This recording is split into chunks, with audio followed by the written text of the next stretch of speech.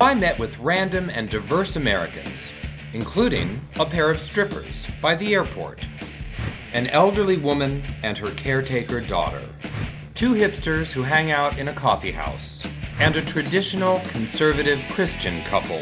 And I gave them each their chance to exercise their freedom of speech. I'm Patrick Bristow, and this is Patrick Bristow's Freedom of Speech.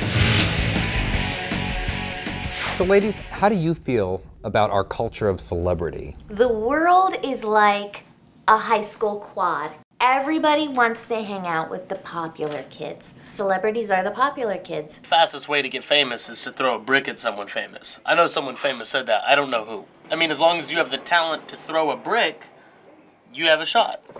I think we have a couple celebrities that we we enjoy. They say the teeth are the window to the spirit.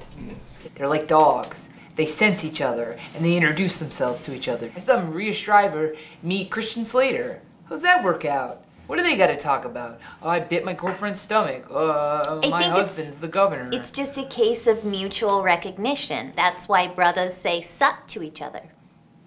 I threw a brick at Charlize Theron because she, Did you? um, yeah, What happened? she was driving by my house and I had a brick.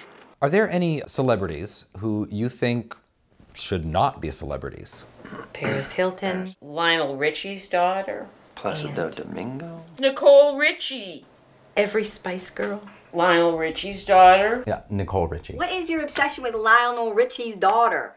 Britney Spears. I put her down in the hurricane cellar and lock the door and just say, oh no, that one died at birth. Mm-hmm. And I'm not kidding. And that's happened. I'm going to throw out some names, you just give me reactions. Lindsay Lohan. Who? Lesbian. Parent Trap. Booze whore. But somehow really likable. Robert Downey Jr. Crazy eyes. Hot, hot, hot. He could be getting out of a limo. He could be sleeping in the gutter. Whoa! Every morning you don't know. Yeah. And that's fun. Wouldn't kick him out of bed for eating crackers. Talk to me about accidental celebrities. As far as JonBenét Ramsey goes, I mean, there's a little girl who wanted fame and got it. Got it. You don't always get to pick the package your present Nope. comes in. I guess Judas is a celebrity if you go by that definition. Mm, thank you. And I would not watch his show. No. Charlie Manson. He wasn't a celebrity, though. He was a serial killer. And a good kisser. If Charles Manson were on a reality show today, which one would you put him on? America's Biggest Loser. Because if Charlie is a judge, and I know how Charlie can get. I'm not eating that week.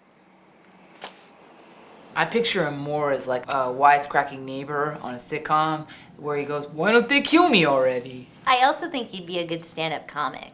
Because he has such a skewed perspective. I made a movie. Okay, Mother. Um, I made Should a I- stinky. okay. Okay, Mother, we, we know. Just Just, uh, gotta take five, ten, fifteen maybe. Oh, Lord, Mother. I think we need to reduce our dependence on foreign oil because we're wasting a lot of energy flying oil from Saudi Arabia to here.